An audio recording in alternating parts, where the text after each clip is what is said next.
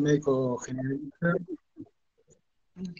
Eh, mi nombre es Ricardo Ruiz, yo soy médico generalista de familia.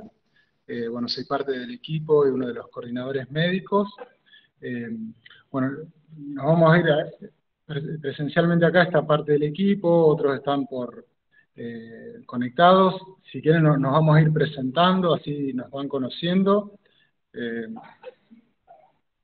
bueno, de nosotros eh, de, eh, yo soy Griselda Santarelli, soy psicóloga, estoy también acompañando en la parte de coordinación de salud mental y del equipo. Eh, bueno, mi nombre, mi nombre es Andrea Rinaudo, también psicóloga, y también acompaño la coordinación y salud mental, digamos, del equipo. Y después ahí tenemos...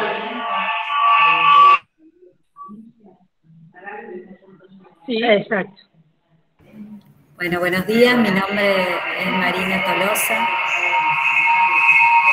Yo soy médica neumonóloga y soy, soy especialista, no sé si se escucha bien, soy especialista en tabaquismo y voy a coordinar el módulo de tabaquismo del observatorio.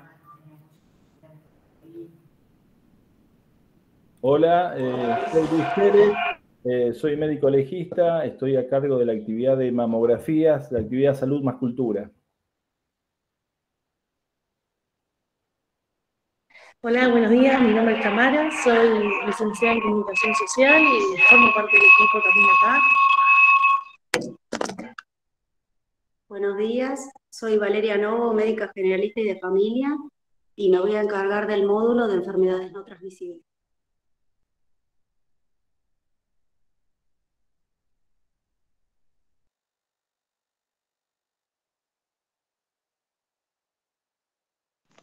Eh, bueno, eh, de parte, bueno, hay parte del equipo que no está presente, pero bueno, contamos con, eh, con médicas, médicas pediatras, también está, hay médicos clínicos, bueno, con un, con un staff importante de especialistas que son los que acompañan y coordinan, digamos, los diferentes módulos que tenemos que son de abordaje clínico.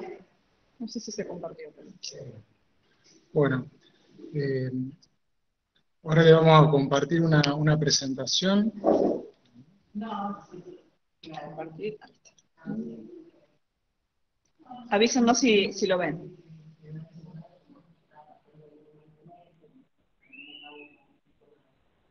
En principio lo que queríamos, nosotros venimos trabajando desde el 2020, el proyecto de telesalud eh, es un proyecto que arranca con la emergencia sanitaria.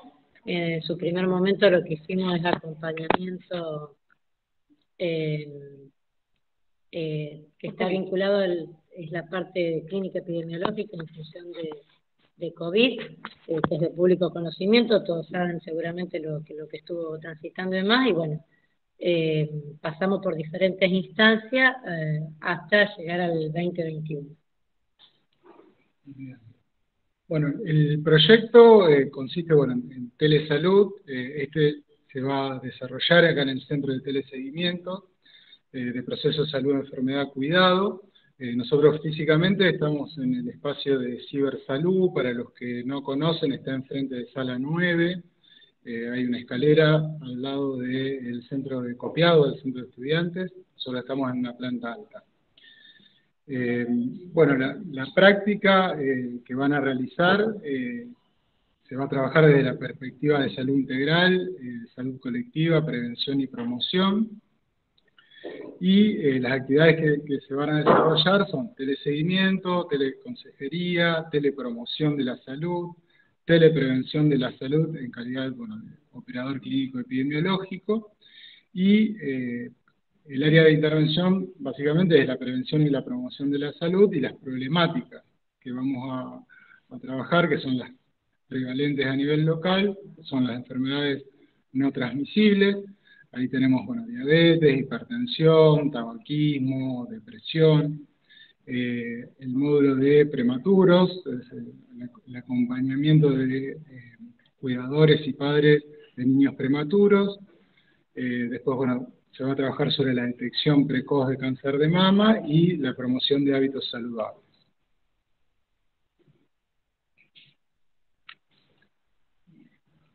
Bueno, es importante que sepan que como operadores eh, van a tener un espacio preparado con toda la tecnología para poder realizar las intervenciones.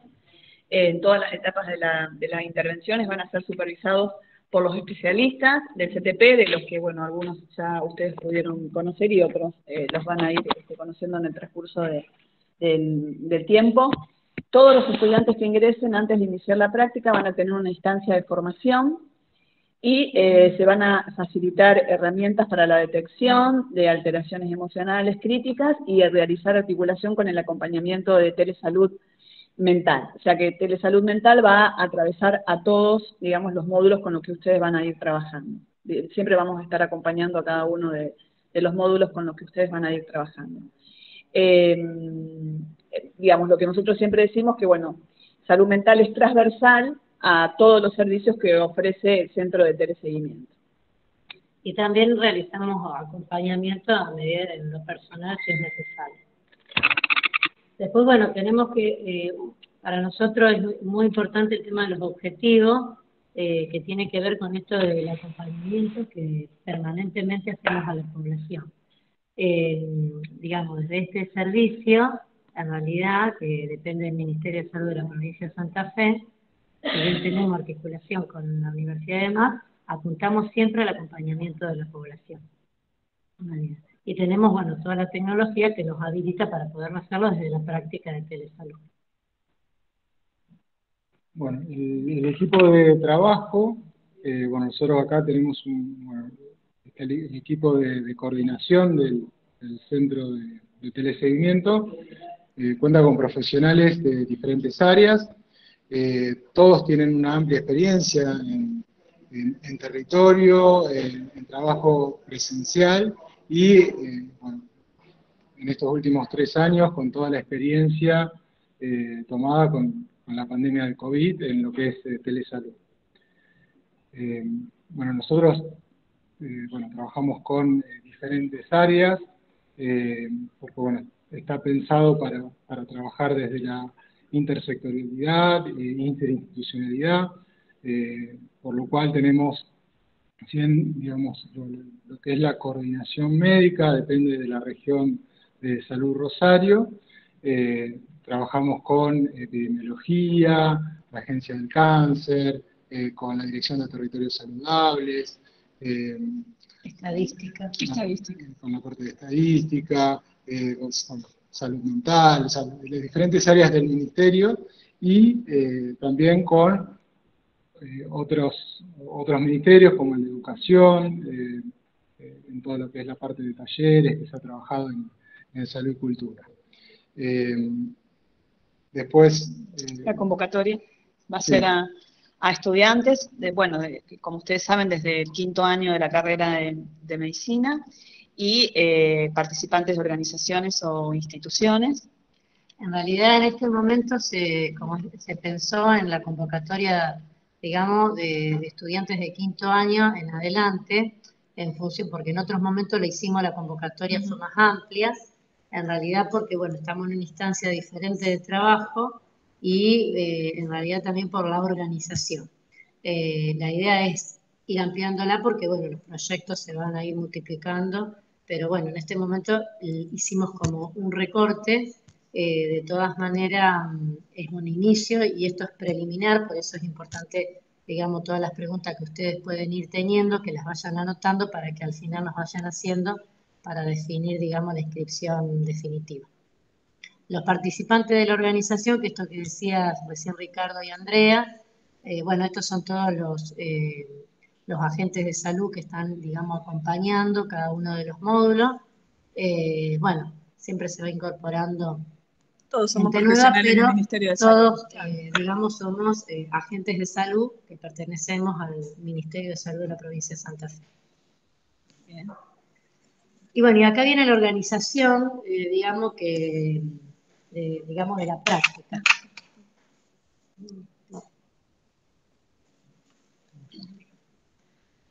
Eh, bueno, la práctica Sí, eh, la, idea es trabajar de lunes a viernes en un turno de mañana. Eh, la duración de la rotación es de cuatro horas de reloj.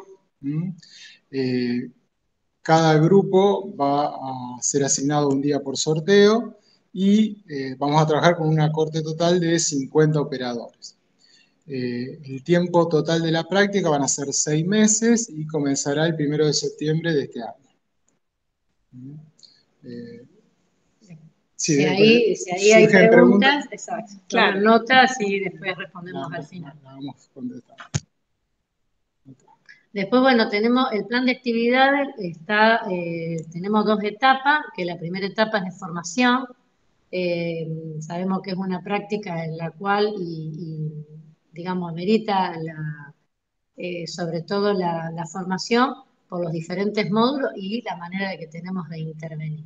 Eh, eh, esa primera etapa la vamos a transitar el primer mes, digamos, y que sería septiembre. Vamos a ver cuál es la, digamos, la modalidad va a ser virtual y vamos a ver si la vamos a diagramar durante todo ese mes.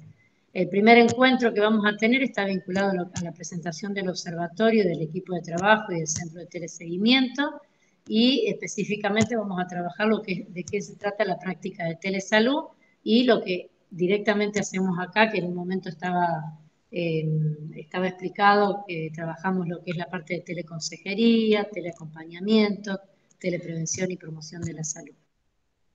Después, segundo encuentro, em, que está vinculado a lo que es el sistema de registro a cargo del área de estadística de la región Salud Rosario.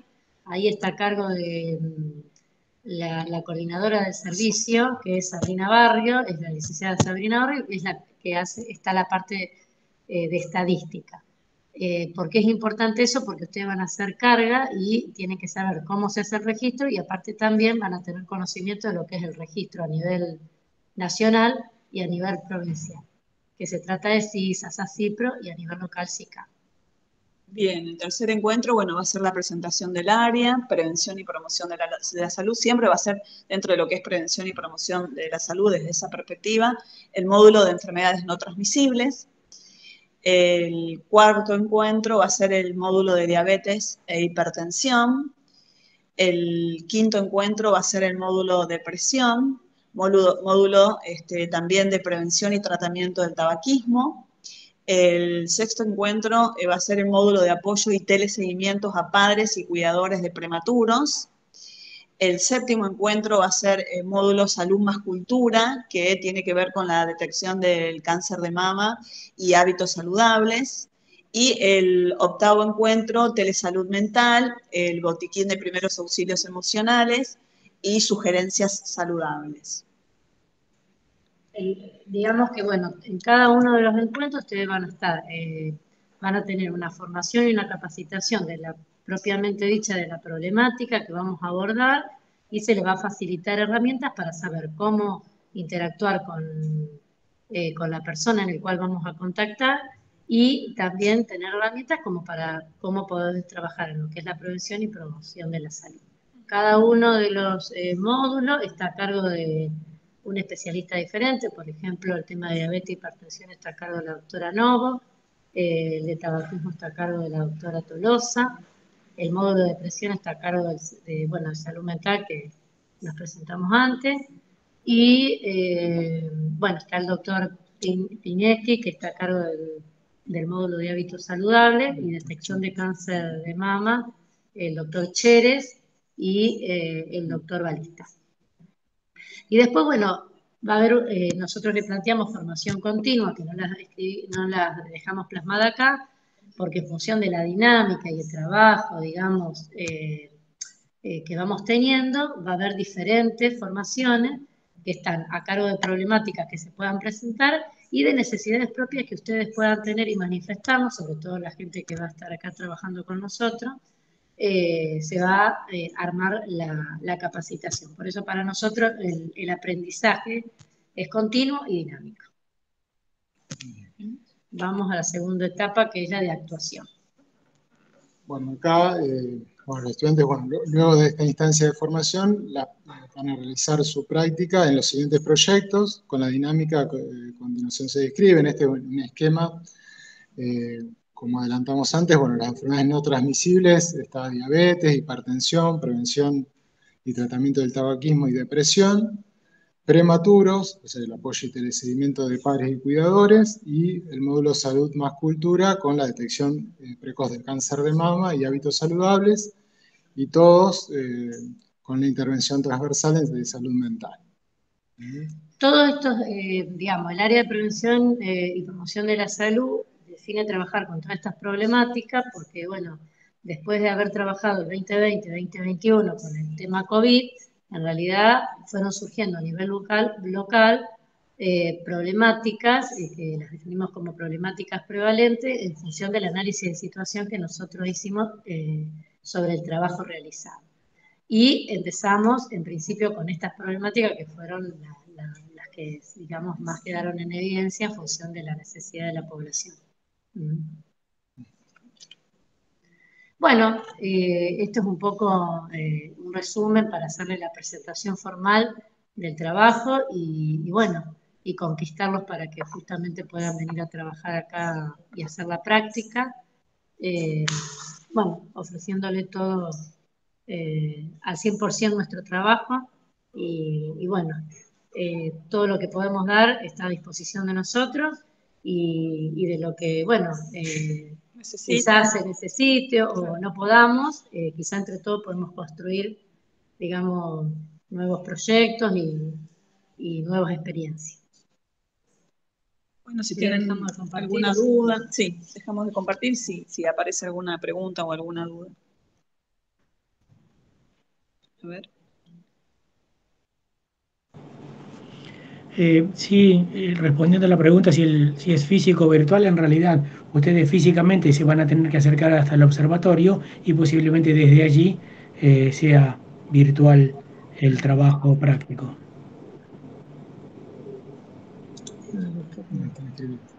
Ah, perfecto. Perdón, que yo un poquito ansioso y siempre voy. Muy bien, el doctor, no, el doctor Piñasqui, no, muy bien, muy bien, Doctor profesor Piñasqui. Doctor profesor. Eh, genial. Parte del equipo, así que estaba ahí en, en el medio de todos. A ver las preguntas. Esto es, a ver, formación virtual o presencial, ya está. La práctica se realiza en lugar físico o es virtual. Bueno, ya está contestado. La, la, la práctica. Se lo contestó. Sí. Bien. Sí, eh, sí Melissa. Eh, cada grupo eh, va a tener un día asignado. Serán 10 operadores por día. y en esas cuatro horas, si el día asignado es el lunes, todos los lunes durante seis meses eh, se va a cumplir la, rotación. En el caso que a lo mejor alguien en el sorteo salga el lunes y no pueda venir el lunes, puede hacer el cambio de persona a persona. Hola, yo tengo una duda.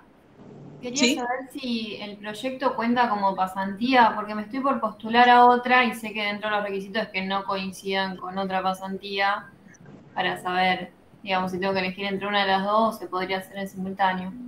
Sí, a lo mejor Camila nos puede ayudar en, esa respuesta. Esta respuesta. Sí, eh, acá preguntaba quién es. Eh, Joana decía la etapa de formación sería hasta septiembre o todo comienza a partir de comienza a partir de septiembre. El primero de septiembre es la primera eh, formación. Exacto. Y ahí empieza la, parte de formación está incluida dentro de la, práctica. De, los seis meses. Respecto a la pregunta, creo que fue de Sofía, no sé si está Camila o alguien de, sí, de extensión. Si no, bueno, es ahí donde pueden por ahí, preguntar. Claro, esa duda la pueden evacuar ahí en extensión. Claro. Perdón, yo quería consultar si esto se, se, continúa durante los meses de vacaciones, enero, febrero, o si hay algún receso. Sí, la, práctica eh, empieza el primero de septiembre y eh, cierra en marzo. Son los seis meses seguidos. Incluye, sí, todo el periodo de vacaciones.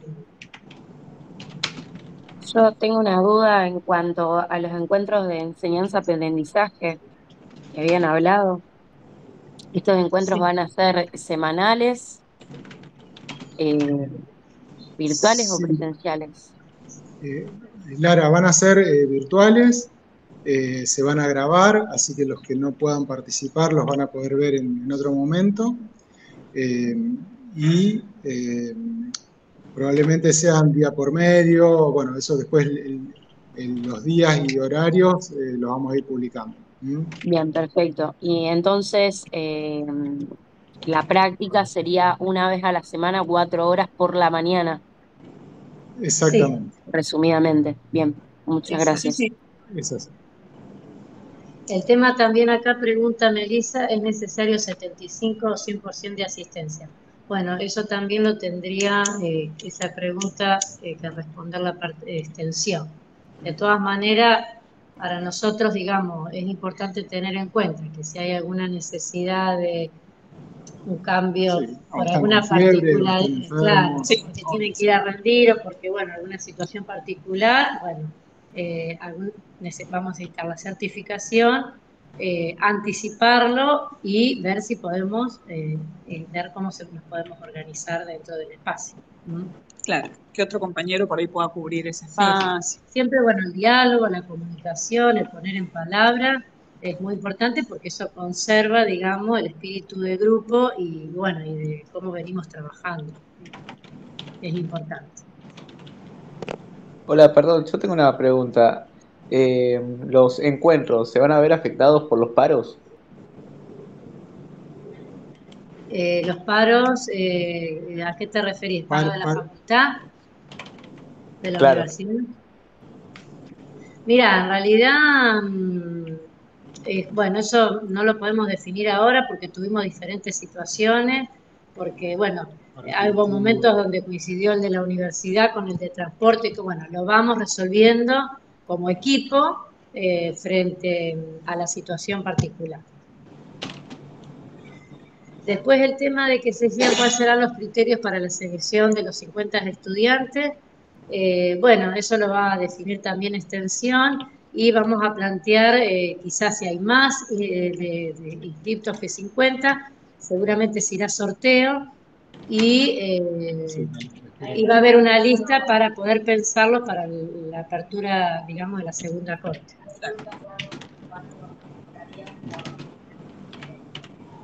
Ah, y bueno, y extensión. Extensión, claro. Sí, eso con Camila de, extensión deberíamos, supongo que lo, lo van a... Se van a enterar de la misma manera que se enteraron, digamos, por, por este medio. porque bueno, se va a, a enviar para la inscripción definitiva y bueno, y ahí seguramente que va a haber una fecha límite para poder poner la presentación.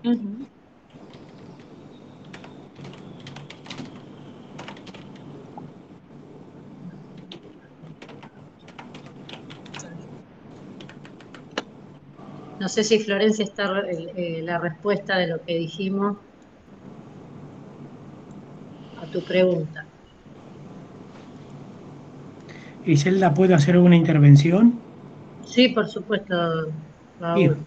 Yo le- les cuento un poquito eh, qué es lo que nos pasó con esto y, y el porqué de esta de, de- de- de ofrecer este tipo de cosas.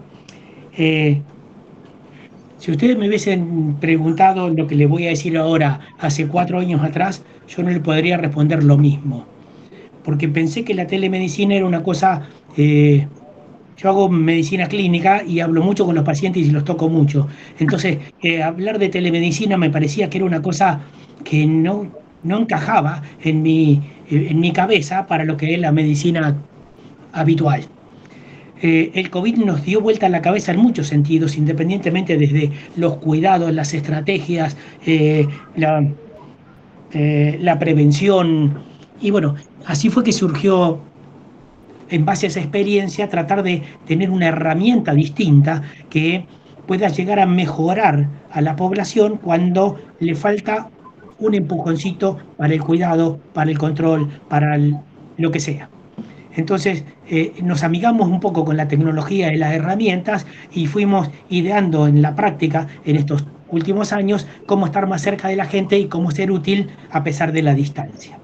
Y lo que queremos hoy es ofrecerle esa experiencia que nos pareció cambiar el, paradigma de la medicina y entender que ustedes, eh, nosotros ya dentro de poco vamos a, hacer poca medicina, eh, pero ustedes tienen 30 años de futuro para hacerlo, van, van a, a, poder tener una herramienta distinta de cómo acompañar a alguien que tiene un problema crónico, una enfermedad crónica o algo que le va a durar mucho tiempo y, ser, y tener una herramienta más para poder ayudarlos. Y este es el punto que, que nos va a nuclear. Hagan el, la experiencia que hagan con los niños, con la, diabetes, con la hipertensión, con, con, lo que sea, le va a servir porque el punto acá va a ser, tenemos un problema, tenemos una población que necesita ayuda y tenemos nosotros una herramienta para poder ayudarlos y seguramente ustedes van a ir mejorando a medida que cursen esta llegada a la gente y esta ayuda a la gente. Esto es más o menos lo que queremos eh, transmitirle y, ofrecerles. Eh, una cosa que, bueno, a, nosotros no nos pasó porque vivimos otra época de la medicina y ustedes están ahora eh, largando, eh, terminando siendo las últimas armas para alargar eh, a la calle, diríamos, a la pista su medicina y, y, les va a servir. Este era el punto que quería transmitirle, perdón por lo... No, no, genial. Está genial porque, bueno, justamente esto que, dice Raúl tiene que ver con que, bueno, nosotros en el hacer tuvimos que aprender sobre, sobre todo la práctica. Y, bueno, y hoy, como, como decía Raúl, como que rompió paradigma eh, no solamente en la cuestión de la práctica, como telesalud, eh, que tiene llegada a toda la comunidad y a todo sector social y a toda la población, sino también en esto de apuntar a lo que es la prevención y promoción de la salud, al autocuidado, al saber, digamos, cómo la otra persona puede aprender y, y, cómo hacer, digamos, mm, tener más calidad de vida y llegar a una etapa de la vida con, con otros recursos y otras herramientas. Por eso, bueno. Eh, Usando algunos términos. Actuales, sí. Usando algunos términos actuales, es tratar de empoderar al paciente para que se cuide a sí mismo. Este es el punto. Eh, sí. Perfecto. Buenísimo. ¿Alguna otra pregunta? ¿Alguna pregunta?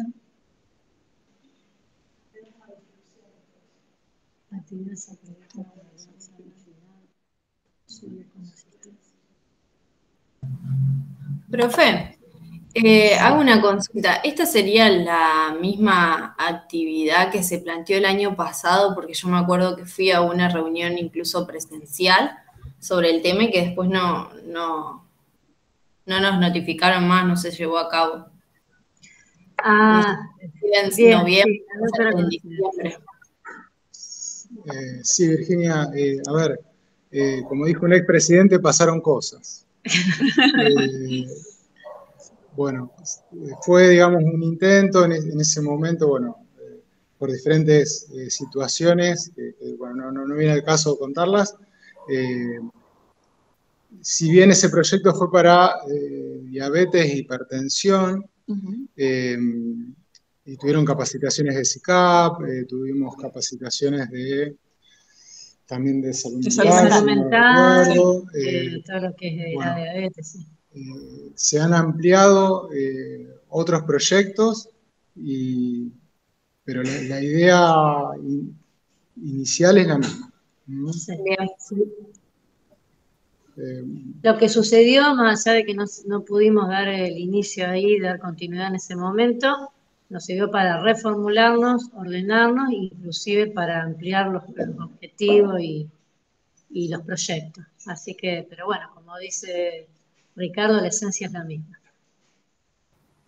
Acá en la actividad, eh, esto de examen final y solo asistencia, la asistencia es importante y acá, si bien lo que vamos a trabajar no es eliminatorio, eh, sí vamos a trabajar, digamos, en esto de, ver al final qué aprendieron y demás, pero todo es a modo de taller, a modo, digamos, de, para ver el conocimiento adquirido. conocimiento y de compartir más los conocimientos adquiridos pero nada, digamos, que sea eliminatorio para ustedes, sino para, para compartir el conocimiento y para reforzar el conocimiento. Claro, no de una exigencia de, de estudio, sino que de, sino ver la práctica. En el hacer ustedes, la idea es que aprendan y se nutran y atesoren todo lo que, lo que vayan transitando en este espacio. El horario, sí, sería solo de mañana. Alguien está preguntando eh, si el horario sería de mañana. Eh, sí, de, de 9 a 13, De 9 a 13. de 9 a 13 sería el horario. ¿Mm? Eh, Ya 13 sería. ¿Cómo, ¿Y cómo inscribirse definitivamente? Extensión, después de este encuentro, eh, va a, seguramente a, a presentar, digamos, cómo, cómo es la inscripción definitiva. Ujú.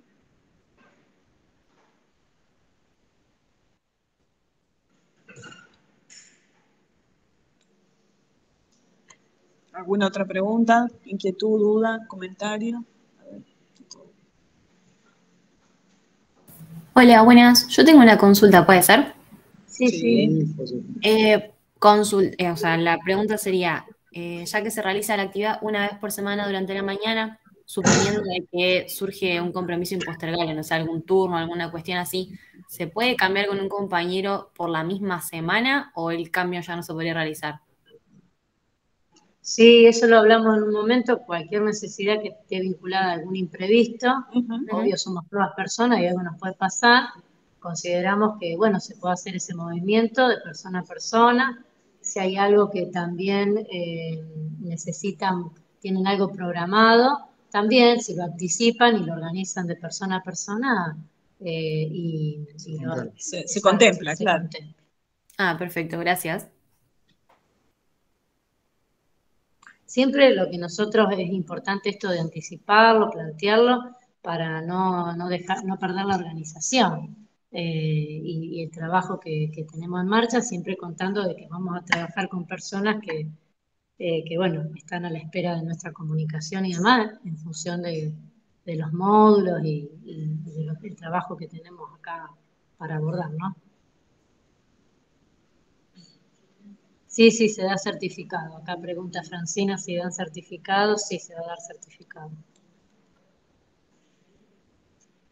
Por extensión.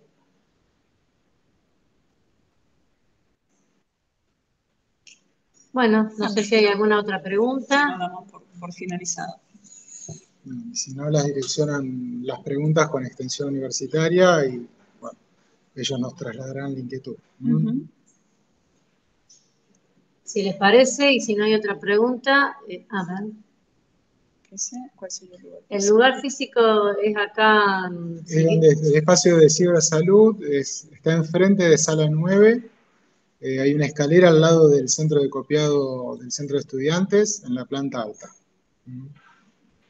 El tema de puntos para residencia, ahí tienen que hablar con extensión, que ellos son los que manejan toda esa información.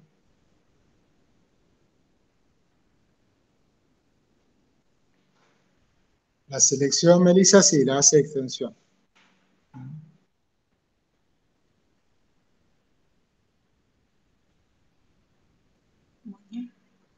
Extensión, sí. Bueno, damos por, por Bueno. finalizado. Bueno, Bueno, gracias por el tiempo. Gracias por el tiempo. Y Y bueno, los esperamos. Y los esperamos. Los esperamos. ¿eh? A- a- Muchas gracias. Gracias. Gracias. Gracias, hasta luego. Gracias. Gracias.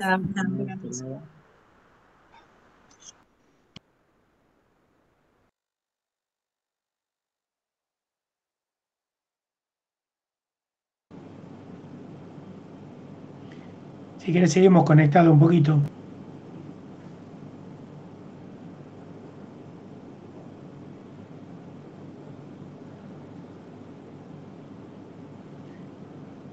Es Ruiz. ¿Querés que sigamos conectados, Ruiz? ¿O no me va a contestar? Mirá que no soy tu esposa.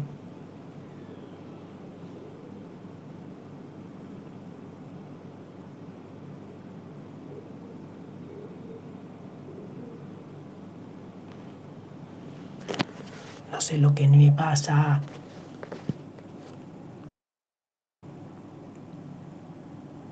Ahí va. O sigue, sigo muteado.